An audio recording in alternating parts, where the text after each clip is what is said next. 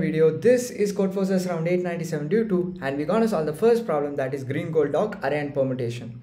So they are telling that we'll be given an array a of length n. We have to output an array b of length n. Array b is a permutation of 1 to n.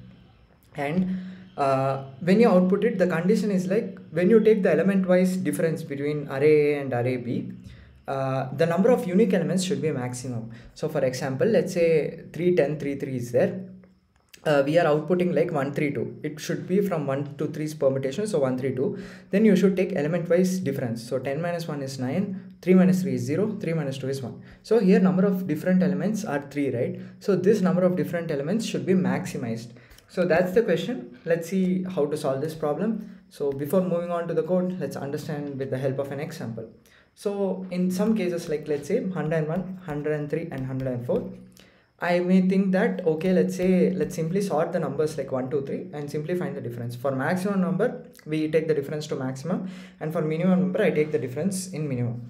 So if we take the difference here how much is how much am I getting is uh, this is 100 and this is 101 and this is also 101 right? So here only two unique elements are there. Can I make it larger uh, like uh, are, can the number of unique elements be bigger? Obviously yes right? So what do we do? 101 103 and 104 if you want to make it uh, bigger means uh, instead of that 1 2 3 let's try 3 to 1 like the smaller value will goes to the biggest element and find the difference. Then the biggest number will find the smallest numbers difference. So 101 minus 3 how much we are getting? It will be 98 right? 9 10 11 then it will be 101 then uh, 104 this is 103 so there are three unique elements. So i just uh, since this is sorted and this is in decreasing order if we find the difference obviously at the first the difference will be more and then the difference decreases. Not like that like the three uh, the number three uh, is larger and this is minimum but here it is smaller and this is maximum. So uh, that's the trick here. The difference is small now it is increasing. Difference keeps on increasing here. Now in this case the number of uh, same elements also might be uh, is reduced right? Now let's but the catch is they might not keep it as sorted here.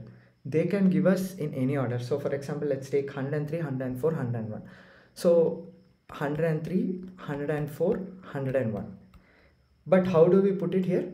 104 have value as 1 103 have value as 2 101 has value as 3 but how do we know this? You can't go ahead and keep doing it right? So there should be a standard way to do it. So let's understand this how to do this.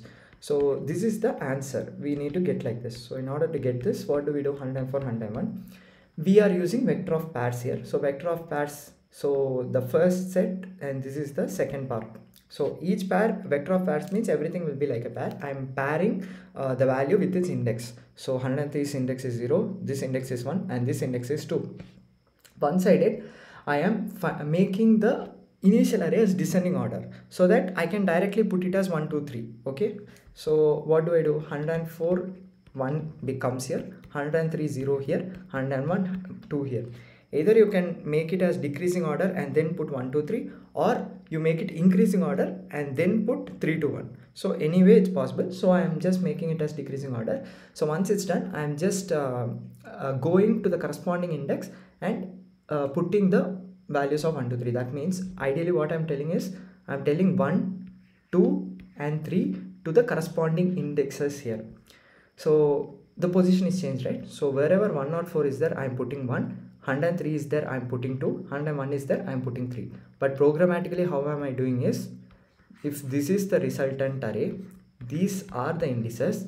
What i'm telling is go to the first position and put the value 1 where 104 is lying. So i put 1 go to the uh, what do I say? Go to the zeroth position. Now go to zeroth position. That is the second element is giving me a value of 0 that is v of i dot second is 0 and update the value to 2 2 now same thing. Result of v of i dot second. That is next element. This is processed and this is also processed.